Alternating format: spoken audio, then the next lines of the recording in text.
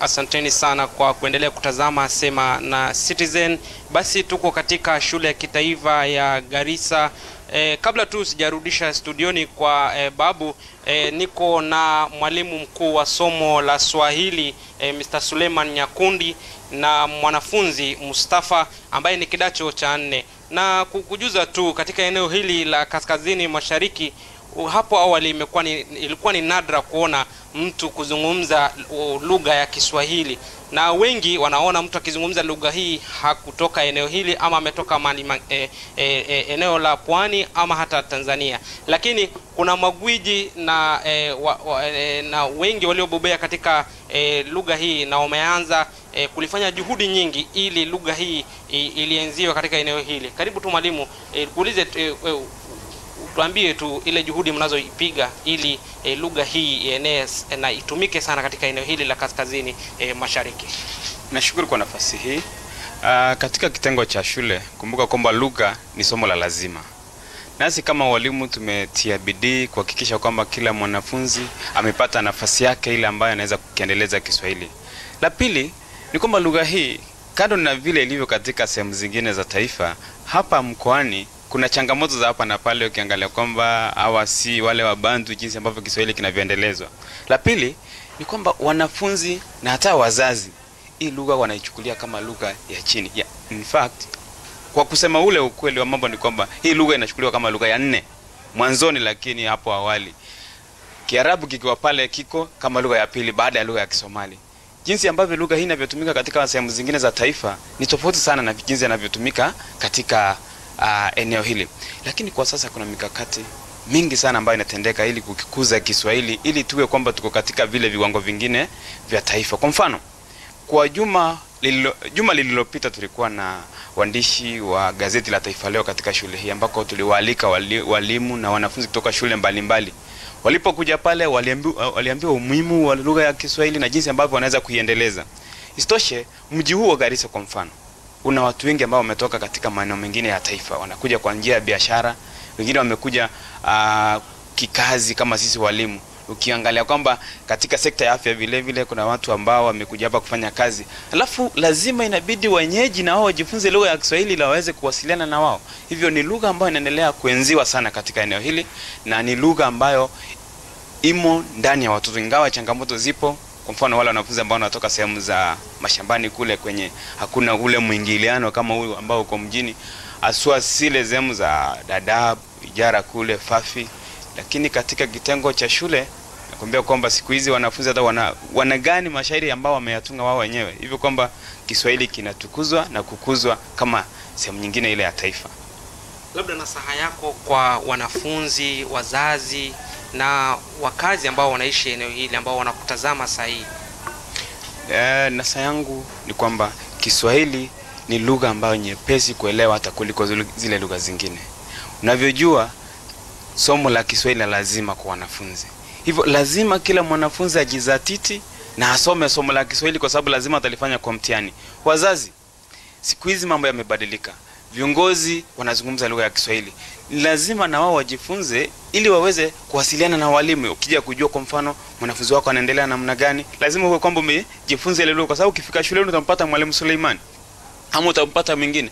Alafu ni vyema hata walimu ama wale wanafunzi ambao wanataka kwenda vyuo vikuu wajifunze lugha ya Kiswahili kama somo la kuja kufunza, kwa sababu changamoto, changamoto iliyopo ni kwamba wanafunzi wengi wanavyoangalia mazingira ya shule. Kwa mfano shule yetu tuna walimu uh, wanane wa Kiswahili lakini ukiangalia walimu wote wa, wa Kiswahili wametoka katika sehemu zingine za taifa.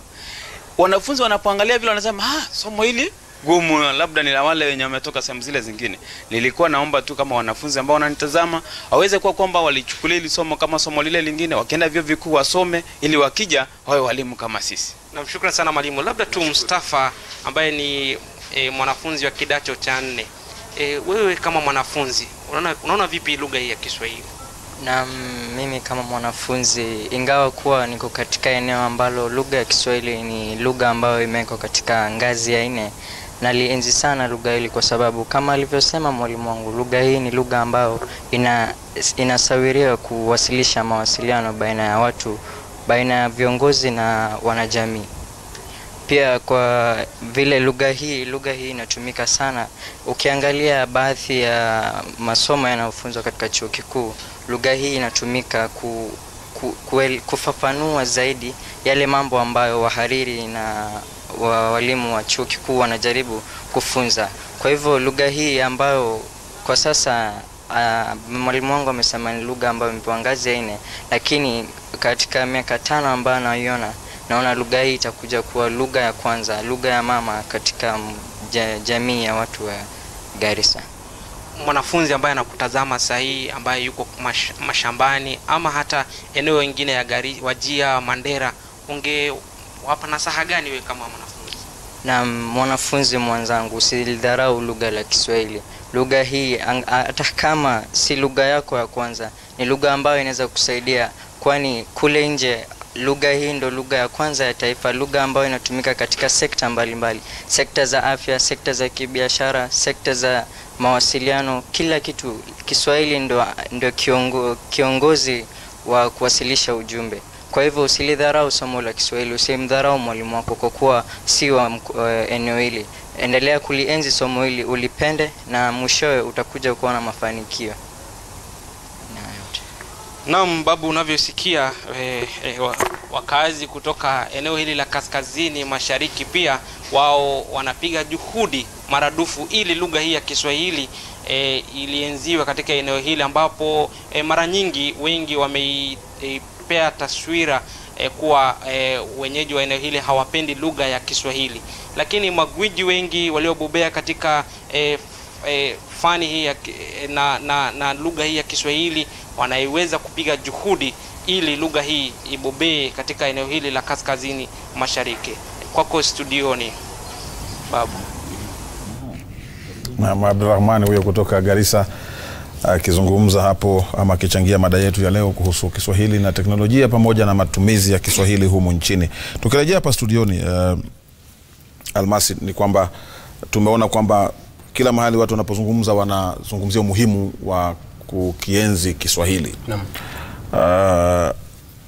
Uh, nyinyi kama Kenya National Library Service ama maktaba ya kitaifa mnachukuliaje hatua ya kuweza kuwajumuisha watu kutoka sehemu mbalimbali? Na cha msingi ni kwamba tunaangalia watu kutoka watoto mpaka um, vyuo vikuu na vile vile mwananchi wa kawaida ambapo tunawajumuisha pamoja na tunaleta Kiswahili tunakiweka katika nafasi kwamba kila mmoja mpaka wataalamu, kila mmoja ana nafasi sawa ya kuchangia na vile, vile kila mmoja anaweza shirikishwa. Tunaangalia talanta, iwapo kuna watu ambao wana, wana talanta kwa mfano watangazaji, uh, waigizaji, uh, wengine ni waandishi. Kwa hivyo tunawaleta pamoja, alafu kila, mtu, kila mmoja wao tunatambua uh, mchango wake katika medani ya Kiswahili. mm -hmm. uh, Robi, uh, wakati tunazungumzia usanii wa akiba maneno na, nafikiri ni, ni, ni tasnia mpya ambayo uh, watu wengi hawajaweza kuijua. Imekuwa kuwaje mpaka ukaamua kuwa msanii wa tasnia hii ya akiba maneno? Uh, kwa sababu mimi kwamba nahisi ni tasnia ambayo haijapewa kipaumbele na ina nafasi kubwa sana ya mimi kuweza kusafirisha ujumbe uh, pasi na kutumia tasnia zingine.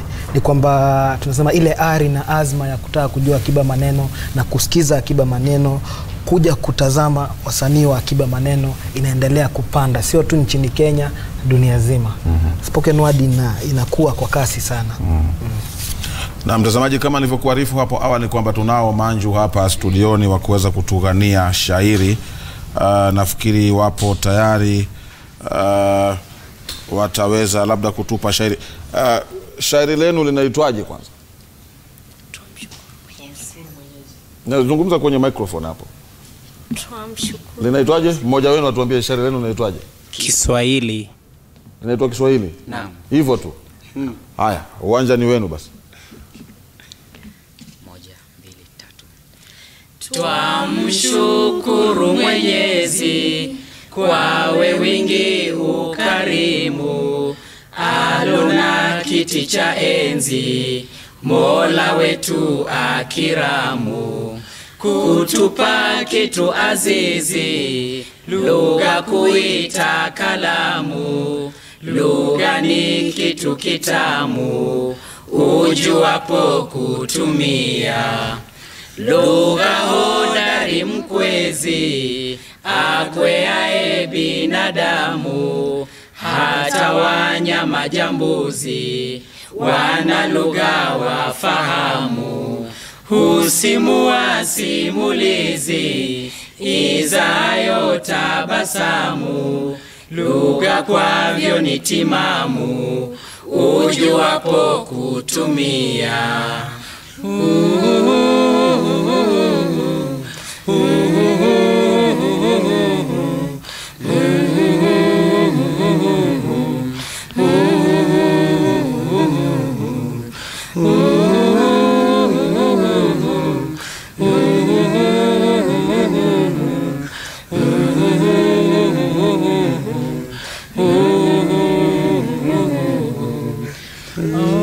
Alivyosema fulani maneno yenye hekima kwamba vyote duniani kuisha huwa lazima.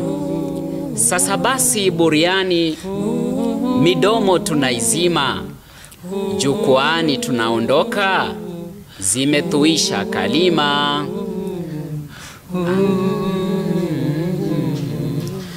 Amina Rabbi Amina Amina Rabbi Amina. Amina Rabbi Amina. Amina Rabbi Amina.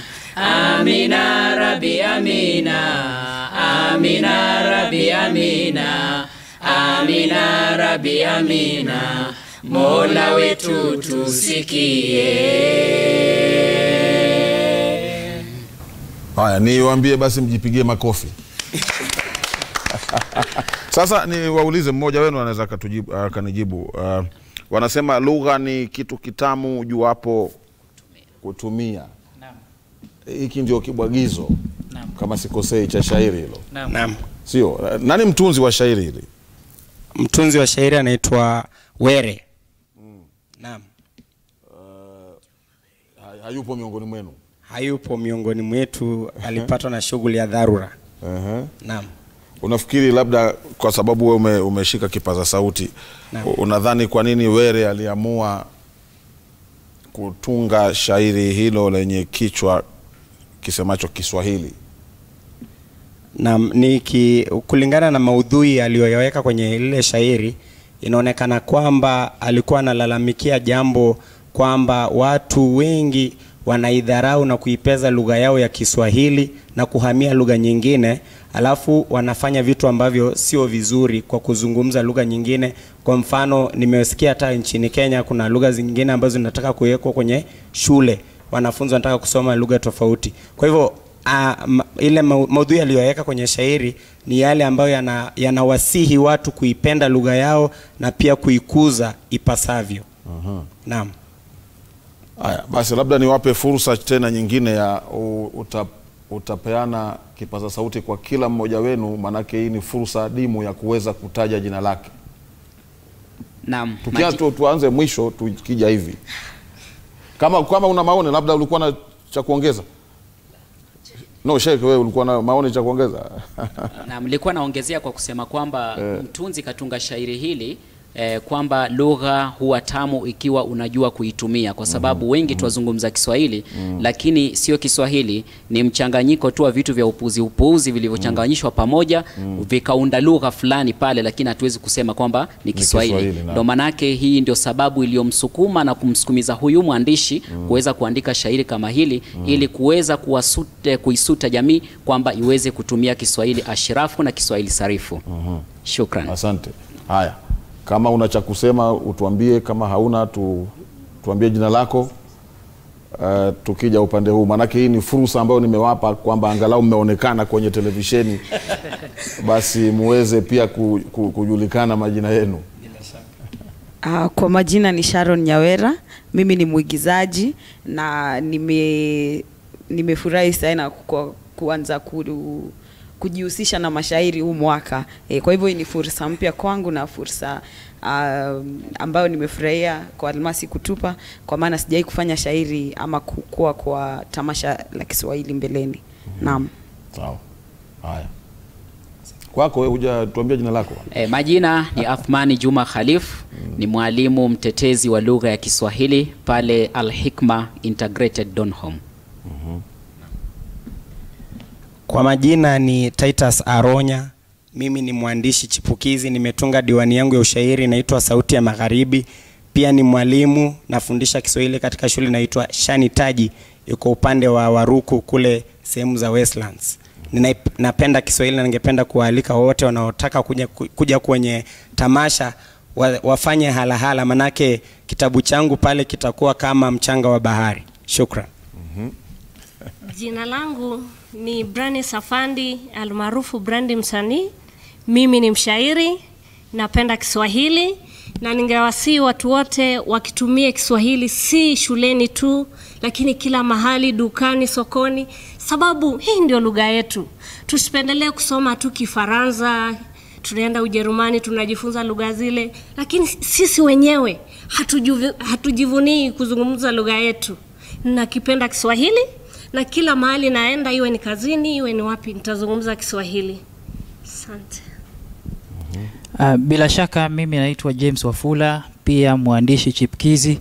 Uh, pia ni msanii wa nyimbo za niseme za Injili, na kile ambacho nitapenda kusema ni kwamba uh, Kiswahili ningependa iwe kwamba hata ninapoenda dukani nisiwe na jishuku kuzungumza Kiswahili. Kiswahili na teknolojia, kwa mfano sasa, uh, msanii anapoandika kwa mfano mistari yake kisha aende aiweke aihifadhi kwa kifaa fulani, hapo sasa teknolojia imeingia hapo. Kwa hivyo ningependa sana sote tuweze kukifurahia na pia serikali iweze kutambua kwamba uh, kando na mtu kuenda kwa ofisi, kando na mtu labda kufanya kitu ambacho eh, wengi wanatarajia, tungependa wasanii katika Kiswahili, mambo ya Kiswahili yapewe kipaumbele. Asanteni. Asanteni sana kwa kuweza kufanikisha uh, sehemu hiyo ya mashairi kwenye Sema na Citizen hii leo, tukiwa tunazungumzia kuhusu Kiswahili na teknolojia na sana sana matumizi ya lugha hii ya Kiswahili uh, humu nchini, kama tulivyoona michango ya uh, uh, waandishi wetu sehemu mbalimbali mbali, na pia hapa studioni tukiwa tunaendelea kuzungumzia mada hii ya leo.